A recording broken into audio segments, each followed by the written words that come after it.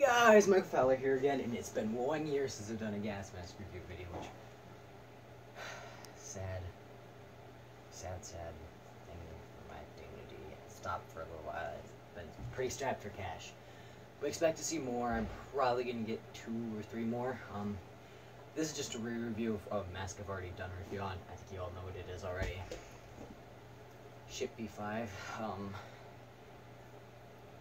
you know where do I start? I went to my army surplus store today and got another one because mine broke. If you watch that video, it always pissed me off that I never got another one. So we're gonna set this aside out of the frame. We're gonna start with the bag, the filter. The filter translates GP5 on it. I'll show you in Russian, and it's got characters on it. Mine's plugged up still, unopened not much else to the bag. There's a couple stamps in it. Um, if you guys are going to be able to see this. There's a stamp on the bag. Um, that's it on the bag. It's just a um, simple bag with a simple pulley system. It's got two pouches inside. This I used to store the papers that came around the filter in the front of the mask.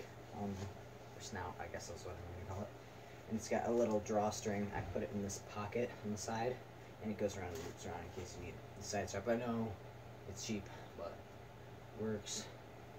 Then we're gonna go on to the mask itself. Um, this is the most common gas mask out there. Um, you can literally go on eBay and get one of these for 10 bucks.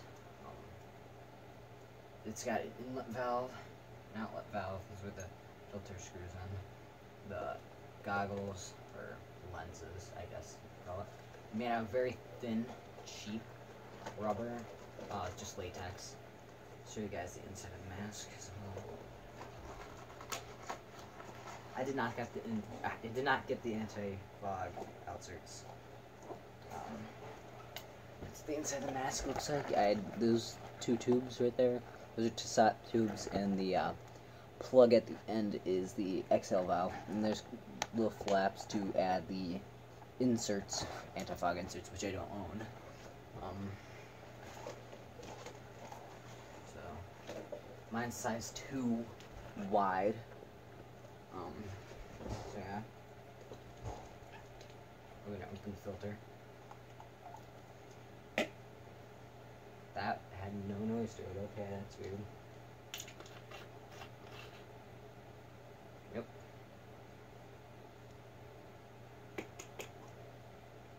Should be safe. Um, the GP5 filter, common thing that people say about this. This is not hazardous, not one bit. It's not even like bad for your health. It's actually these still work. I have no idea what people complain about. There is no asbestos in this. It is not there. People have opened them up. It is not in this. So stop saying it, people. Um, only way older, like World War II era masks have that issue. So yeah, it looks like with the filter on. This is gonna hurt my hair because my my luscious, lovely locks I got.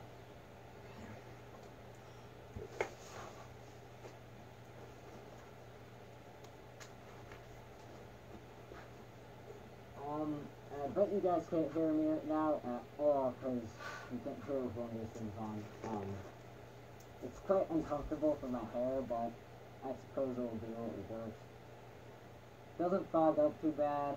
Honestly, it could be a better mask, but, you know, it's, it's a basic mask. You, you can't really complain about it. It works, it does its job. Say no more. Guys probably couldn't hear me. But, uh, yeah. I give this mask on my rating scale you guys are gonna get pissed at me for this. 8 out of 10, I actually find this to actually be a decent mask.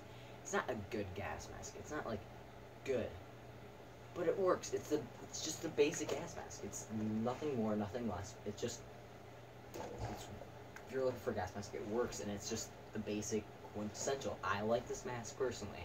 I have nothing against it. It's actually an awesome mask. It's uh, kind of an up close of the mask. I want to make a longer video.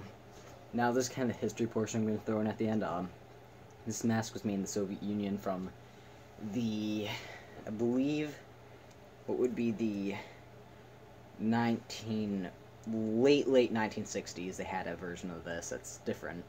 To the end of the Cold War, they used GP5s um, as their basic civilian mask, and they sold them to about everywhere. Um, these were used in the Chernobyl disaster at the power plant. That exploded and you know Pripyat if you go to the school there you can find PDFDs everywhere. But more near the exclusion zone with all the gear that they used to go in there you can find these actually. Ones that are actually worn by the people who went in there. So yeah. Cool cool mask. Uh, some stamps on there. Mine says T81 size 2 wide so yeah, that's about it for today, YouTube. Enjoy your fucking day.